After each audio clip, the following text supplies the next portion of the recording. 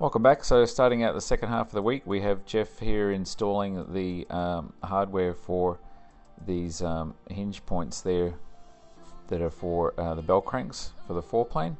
And he's just riveted on those floating nut plates and he's just checking to make sure the hardware is lining up nicely. And over here, he's uh, in the process of bonding in the um, mounting plate there for the bell crank for the aileron control. That's the one that where the main rod comes through from the cabin, and then uh, the other rod actually actuates the uh, the aileron. And here in the left side of the aircraft in the baggage compartment you can see that Dan has installed the Arduino there and also, uh, also to the left of that the little uh, power supply, that's the one in the black box and uh, that's hooked up to the relays that you see on the upper right there and they control all the solenoids. And here you can see Devin and Jeff have started the process of bonding the uh, spar into the foreplane skins or at least bonding all the parts of the foreplane uh, together so they've got the spar in um, presently. And just a quick door update this time. Got the uh, brackets back from powder coat there, you can see in black, and this time I've got the uh, 225 pound gas strut on here uh, that also came in. And uh, it's holding the door up nicely and it actually pulls it over center there when you get it just before closed. Um, so everything's working out well with that. So finally the gas struts are sorted.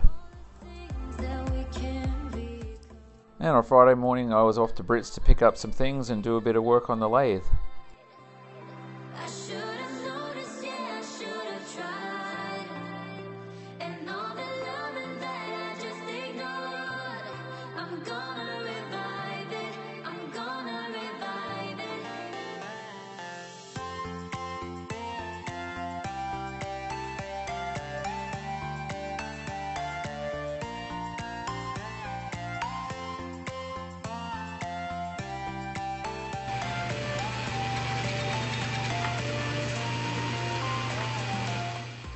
And my task here was to create a bunch of uh, inserts for these rod ends for the aileron uh, push rods, the ones in the wings and also the ones in the cabin.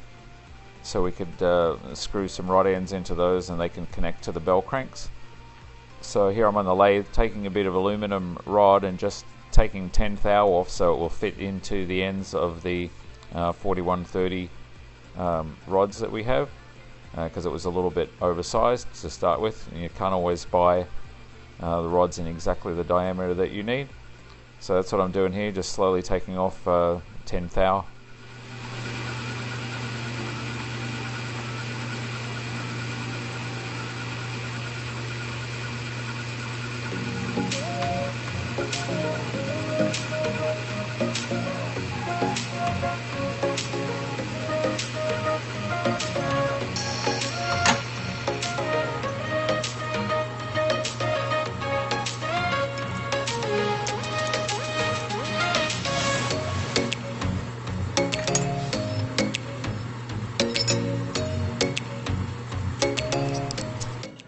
After thinning out the rod on the lathe for at least uh, sort of an inch and a half of length, the next thing to do is take it over to the bandsaw and cut off the next piece. So um, just cutting off about an inch and a half as I'm making you know these inserts. I ended up making uh, 15 altogether. We only needed eight for now, but there's I know there's more coming um, that we're going to be using on the elevator control.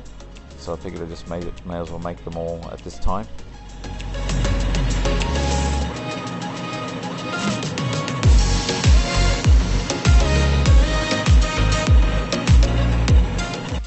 And then I spent about the next hour and a half finishing those off, including uh, drilling them out, uh, ready to be tapped.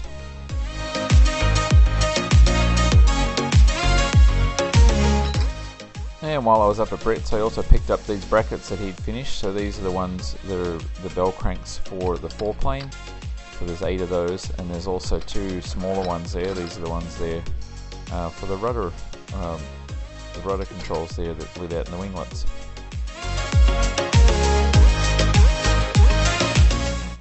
And here Devin and Jeff are continuing with uh, bonding things together for the foreplane. So Devin's just getting things sorted out so they can bond in uh, each of the ribs there.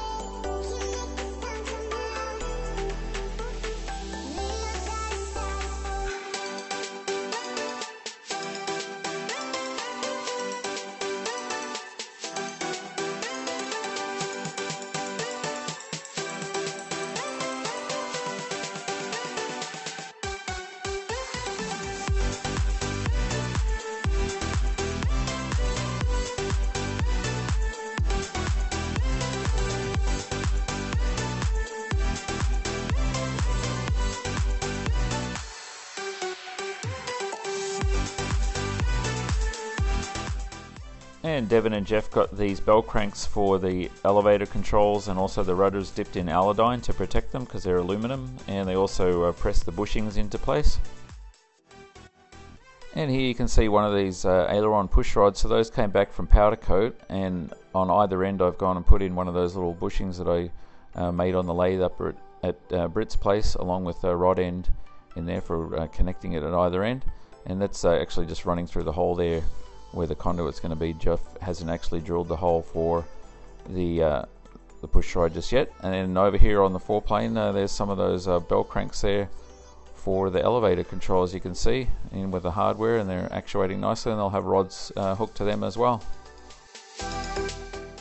And by the end of the day on Friday, all the ribs um, that are in between the two spars there were bonded into place. Still got the aft ribs to go, and there and a few other little things to happen. And uh, let me just give you a bit of an update on other things. So those panels there for the dash have gone back to the upholsterer. I'm going to actually get them covered in a nice black vinyl.